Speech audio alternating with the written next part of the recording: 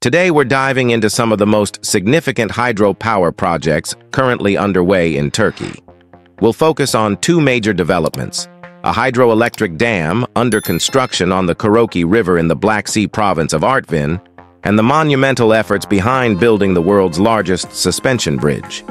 Let's start with the Yusufeli Dam, a hydroelectric marvel nearing completion on the Karoki River. Unfortunately, the completion of this massive project means that the town of Yusufeli, located just 8 kilometers, or 5 miles from the dam, will be submerged. Since ancient times, humans have been constructing barriers to control water flow for agriculture. However, the dams of today are marvels of engineering and technology, far surpassing the modest structures of the past. Modern dams feature enormous concrete walls, sluices, and gates. The higher the dam, the greater its water storage capacity.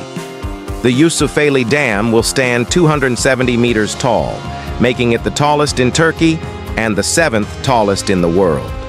It's a concrete arch dam, construction of which began on December 21, 2012. It's part of the larger Karoki River Development Plan, which includes 13 dams, two operational and two under construction.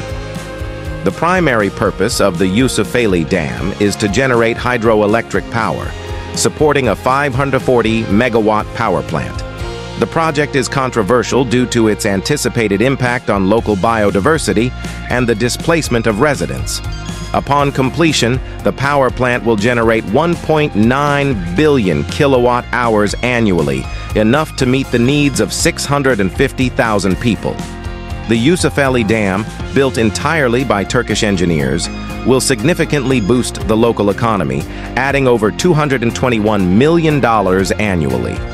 Located 70 kilometers, 44 miles, southwest of Artvin, the dam will be a double-curved arch structure using 4 million cubic meters of concrete, the equivalent of building 50,000 houses.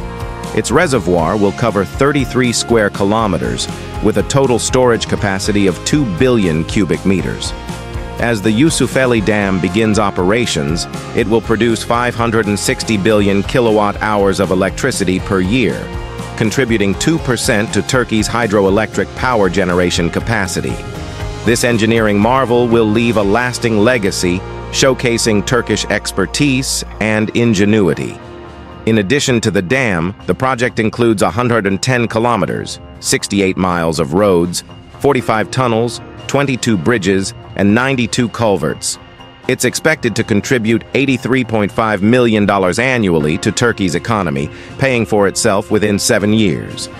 Now let's shift our focus to another ambitious project, the Çanakkale 1915 Bridge, which aims to be the longest suspension bridge in the world. This bridge spans the Dardanelles Strait, a critical waterway connecting the Black Sea with the Mediterranean Sea and serving as the border between Europe and Asia. Despite its strategic importance until 2022, the Dardanelles was only connected by three bridges and two tunnels in Istanbul, causing significant traffic congestion. The idea of building a bridge here was first proposed in 1988, but faced numerous delays due to political and economic challenges. Construction finally began in September 2017, led by a consortium of local and South Korean companies. The bridge's central span of 2023 meters aims to break world records. The total length of the bridge is 4,608 meters, and its main cables contain enough wire to circle the Earth four times. The Çanakkale 1915 bridge project includes a suspension bridge, viaducts, underground bridges, overpasses, and various other structures. It will reduce travel time across the Dardanelles from an hour and a half to just six minutes, dramatically improving transportation efficiency. The project was completed in just four years at a cost of 2.545 billion euros. It involved 5,100 workers and 740 units of construction equipment. The bridge will save Turkey 415 million euros annually in fuel and emissions costs, with an overall positive economic impact estimated at 5.5 billion euros per year. Most importantly, The Çanakkale 1915 bridge will provide a faster route from Istanbul to Turkey's southeastern regions, boosting international tourism and reducing goods delivery times. This project will significantly enhance transportation between Asia and Europe, eliminating the need for vehicles to queue for ferries. Are you impressed with these Turkish mega projects? Let us know in the comments.